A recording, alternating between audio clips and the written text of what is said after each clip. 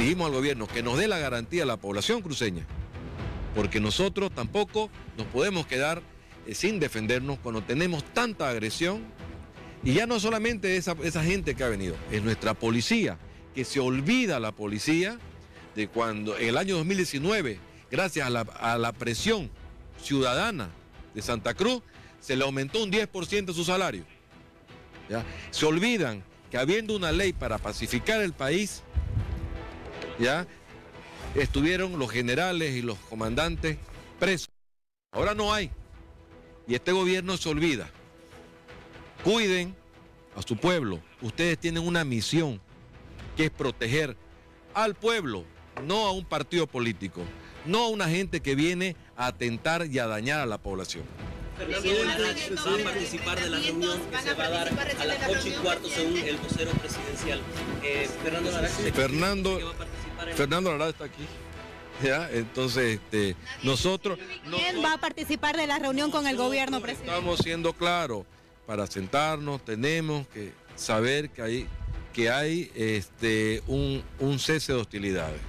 Porque vuelvo a reiterarle, no es lógico que tengamos una presión, gente ahorita asumiendo los golpes y el abuso policial y el abuso de la gente, porque ustedes, los mismos me- medios de comunicación, han mostrado que la policía es la que está entregando eh, equipamiento bélico justamente a, a la población para que estén atentando contra el vecino que quiere defender un derecho. Un, ve- un vecino que quiere que eh, llegue el alimento y que no haya esa presión.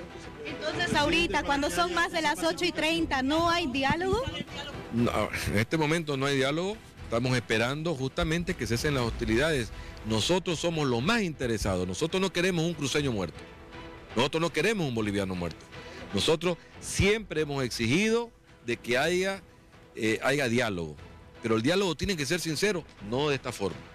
No hay horario. No hay horario. Ahí estábamos escuchando las palabras del presidente del Comité Cívico Pro Santa Cruz, Rómulo Calvo, quien se encuentra reunido con otras autoridades también dentro de su domicilio. Bien, eh, lo que establece, lo que dice en todo caso Rómulo Calvo es que tiene que cesar las hostilidades para poderse sentar con representantes del gobierno y de esta manera entablar este diálogo que se esperaba sea hoy en Exconaltid, allí en Dipletkov, a las 8.15 de la noche. Diálogo que hasta el momento no se ha dado y es lo que le queremos contar. Pero Cristian Guzmán justamente está allí para podernos contar el panorama, el ambiente que se está viviendo en estas instalaciones, donde debería instalarse, repetimos, a las 8 y cuarto debe instalarse este diálogo. ¿No es cierto, Cristian? Buenas noches. Fernando, buenas noches. Tú lo decías, la reunión estaba prevista para las 20 horas con 15 minutos, sin embargo, hasta esta hora las autoridades no han llegado. Las instalaciones fueron cerradas con candados de manera preventiva debido a que aquí a las afueras han llegado varias personas, vecinos, eh, activistas, eh, plataformas, quienes eh, van a hacer una vigilia. Una vez se inicie la reunión, ellos van a permanecer en este lugar. La policía ha optado por ponerle candado a las rejas para evitar cualquier incidente. Reiteramos, en el interior en este momento se encuentra el, eh, ministro de Planificación, Sergio Cusicanqui, como también el vocero presidencial, Jorge Richter, y hasta el momento la, otra parte, la Comisión Interinstitucional Impulsora del Censo 2023, todavía no ha llegado. Se tiene previsto la llegada del vicepresidente del Comité Cívico, Jorge, eh, Fernando Larach, como también del rector de la Universidad Autónoma Gabriel René Moreno, eh, Vicente Cuellar, además de un representante de la gobernación.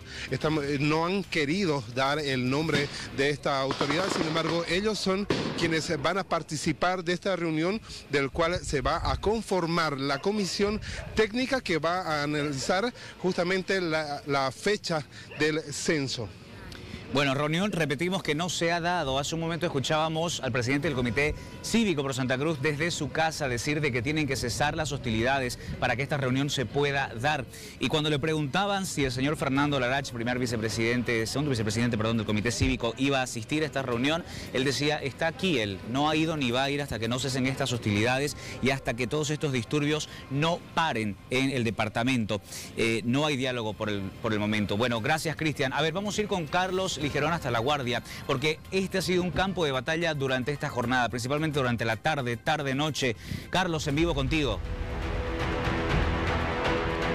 Fernando, a esta hora ya se ha calmado un poco lo que ha sido el enfrentamiento que se registró hasta hace media hora aproximadamente entre estos dos grupos, los que están apoyando el paro cívico y los que no, y quienes se encuentran en estos momentos, como vemos, instalados en este cerco en el mercado campesino, a la altura del mercado campesino aquí en el municipio de La Guardia. Podemos observar ya que a esta hora no se registran enfrentamientos, sin embargo, hace unos minutos atrás llegaba un fuerte contingente policial también y que pasaba hacia el otro lado.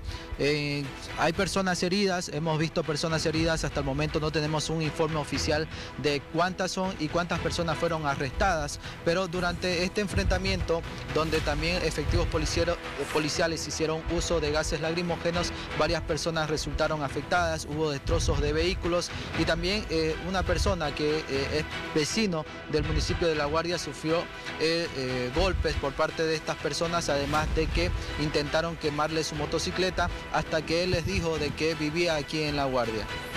Tremendas las imágenes, Carlos, que estamos viendo mientras vos nos vas contando lo que se vive ahora. Lo que están viviendo ahora en La Guardia es muy distinto a lo que se vivía más temprano, cuando realmente era un enfrentamiento sumamente tenso el que se daba ahí. Llegaron policías también y estaban quienes bloqueaban esta zona versus las personas también eh, que llegaban en esta marcha, ¿sí? afines al movimiento socialismo, decían. Ahí está la motocicleta de la cual nos hablabas, Carlos Ligerón. Hay una eh, motocicleta perdón, robada eso es el, es el informe. Y esta otra también que logran encontrarla. A ver, contanos un poco acerca de esto, por favor. Justamente en el momento cuando estas personas que están en el cerco pasaron el cerco para eh, ahuyentar o retirar a las personas que están apoyando el paro cívico, fue donde eh, algunos vecinos que ya estaban llegando a sus domicilios intentaron apartarse eh, a los lados y es ahí cuando son confundidos por estas personas y intentan justamente quemarle la motocicleta. Él se acerca a ellos y les dice de que la motocicleta no pertenecía a la Unión Juvenil Cruceñista ni al otro bando pero eh, verifican su placa y es ahí cuando le ayudan a apagar el fuego que ya estaba iniciando en la motocicleta. Tenemos el reporte de que otra fue robada, además de que son dos motocicletas, el reporte que tenemos por parte de los vecinos que estaban por este lugar de que fueron robadas. Eh, vemos ya que más efectivos policiales en estos momentos están llegando hasta este punto para evitar nuevos enfrentamientos. Los jóvenes con los que se están enfrentando, las personas que se encuentran en el cerco, fueron replegados hacia eh, Santa Cruz. Bueno, y justamente Carlos Ligerón pudo hablar con el dueño de esta motocicleta. Escuchen lo que le dijo. Prácticamente le han destrozado la moto, se la estaban quemando. Sí, eh, tenemos que ayudar, me han ayudado y yo lo perdí a mi hija, digamos, ¿no?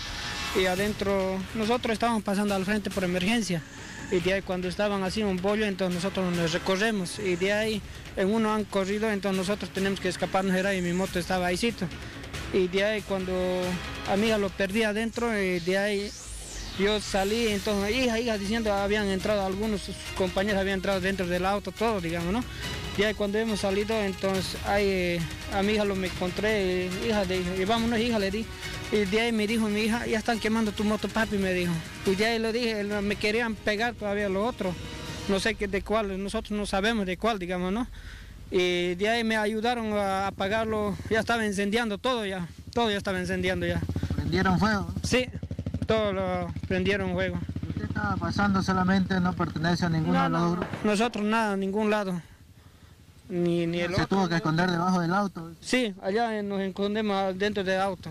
Y de, nos pilló y algunos lo han pegando, han llevado, no sé, no, sabemos de eso. ¿Se llevaron dos motos también, dice Sí, dos, de este estaba su, su compañero de este estaba y uno, él, no había cogoteado, yo lo estaba cogoteado esto, entonces no han podido llevar, sino iban a llevar a la frente. Una tarde complicada para quienes viven en el municipio de La Guardia, en el Torno también. Carlos, a ver, estamos tratando de plasmarle a quienes nos están viendo ahora lo que pasa, el panorama en el departamento. Estamos en La Guardia en vivo, en DIPREPCOM, donde debería instalarse este diálogo, debió instalarse a las 8 y cuarto y también en la casa del presidente cívico, quien habló hace algunos minutos. Carlos Ligerón, te consulto, ¿cuál es la situación real a esta hora? Porque depende del cese de hostilidades, decía Rómulo Calvo, para que este diálogo con el gobierno se pueda entablar. Es decir, las personas de la Unión Juvenil las personas afines a estos movimientos sociales que llegaron hasta allí, mismo la policía, quienes están bloqueando y cercando, ¿permanecen en el lugar o no? Por el momento, los policías y las personas que están cercando a la altura del mercado campesino del municipio de La Guardia continúan en ese punto. Por otro lado, los jóvenes quienes eh, venían a apoyar de la Unión Juvenil cruceñista, además de las personas que apoyan el paro cívico, fueron replegados por los efectivos policiales hacia Santa Cruz. Hasta el momento este es el panorama, ya no se registran enfrentamientos, nosotros vamos a seguir avanzando para el otro lado para ver dónde es exactamente que se encuentran estos jóvenes y cuál es la situación en ese lugar porque veíamos de que los efectivos policiales hicieron uso de gases lacrimógenos y prácticamente los corretearon para que ellos ya no permanezcan, permanezcan en esta zona que intentaban justamente retirar el cerco que hay en este punto.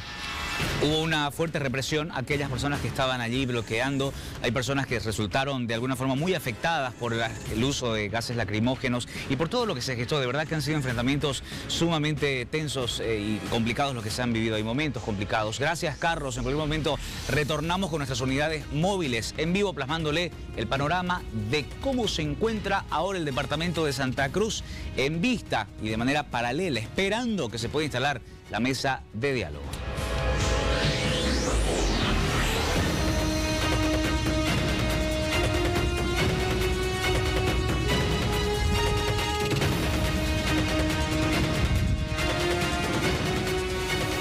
La violencia sin duda marca la jornada número 11 de paro cívico indefinido en Santa Cruz de la Sierra, un tema que preocupa cada vez más y al que hizo referencia el defensor del pueblo. La Defensoría del Pueblo no ha recibido una invitación oficial eh, ni un comunicado oficial en el sentido de que pueda ser facilitador en el diálogo, pero eh, en ese escenario lo que nosotros eh, nuevamente reiteramos es que los actores del conflicto puedan sentarse, y lograr soluciones para desconflictuar esta situación. La idea es que podamos bajar los niveles de eh, beligerancia.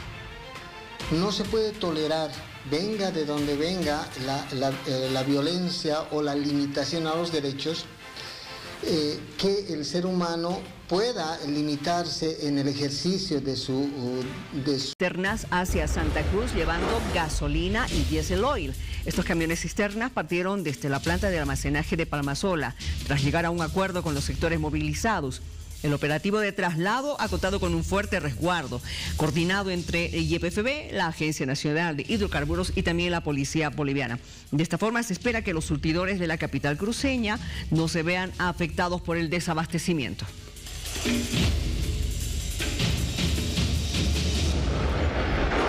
Vamos a hablar sobre lo que ha acontecido durante esta jornada. Cerca a las 15 horas del día de hoy aproximadamente se produjo un enfrentamiento entre choferes del transporte pesado y las personas que bloquean el puente que da acceso a Yapacaní. Todo esto en Santa Cruz cuando los transportistas intentaron pasar, hubo golpes y pedradas. Usted está observando imágenes, esos enfrentamientos que se han suscitado durante la tarde de hoy. Al menos una persona resultó herida y varios vehículos fueron afectados. Según nuestros reporteros al día que nos enviaron estas imágenes, los vehículos de transporte pesado llevan o llevan ya en el lugar al menos cinco días parados y hay desesperación entre los transportistas porque se les estaría acabando los recursos. Hace varios minutos ha hablado el viceministro de Seguridad Ciudadana, Roberto Ríos, con relación a lo que está pasando en La Guardia y ha denunciado incluso que quienes estaban en esta refriega han incendiado, habrían destrozado un vehículo policial. Veamos, por favor.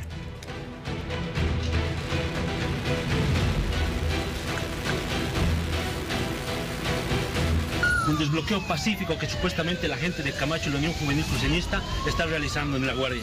Como ustedes pueden observar, no solo ponen en riesgo la vida de las personas que piensan de manera diferente a ellos, sino también de los miembros de la, de la policía boliviana. Es por eso que es importante que el pueblo boliviano conozca cómo están procediendo y con la violencia que están atacando no solo a la población, sino también a la policía. Concretamente, eh, la autoridad ha señalado que habrían destrozado este vehículo y ha colocado justamente estas imágenes en su propia